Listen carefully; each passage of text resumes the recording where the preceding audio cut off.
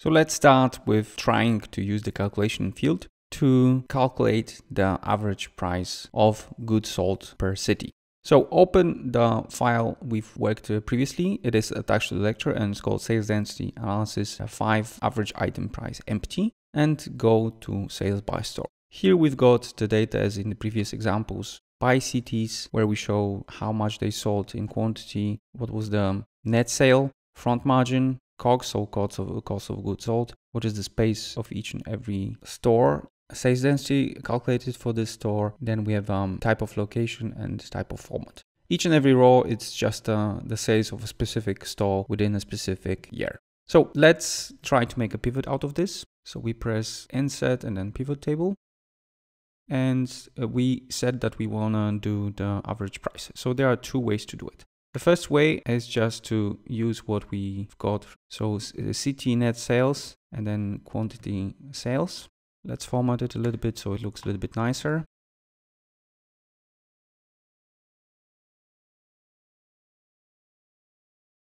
So we can use the previously introduced option. So just uh, calculate outside the pivot table what we I want. The average price will be just the division of the column B by column C. So we do B4 divided by C4.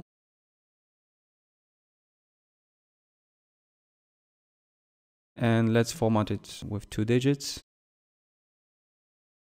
after decimal. And in this way, we get that the average prices are in this column. The other option is to use the calculation field. So let's try to do it as well.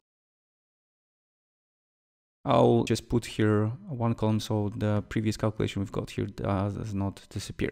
So the calculation field we enter by going to the pivot table um, menu and then analyze. And in analyze, you will have field items sets.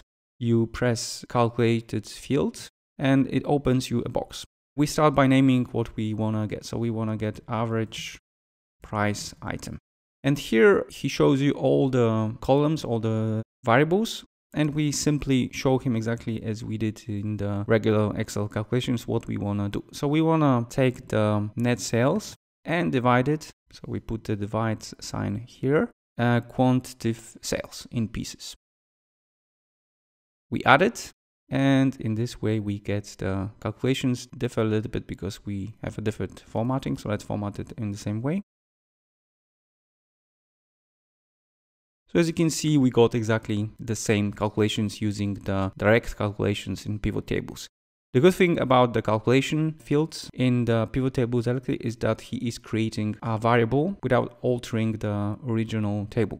So as you can see here in the pivot table fields, I've got average price item, which was added, and I can actually remove it if I don't need it, add it back. So this is the good thing about the pivot tables calculated fields that I can create a calculation, keep them within the pivot tables or remove them if I don't need it.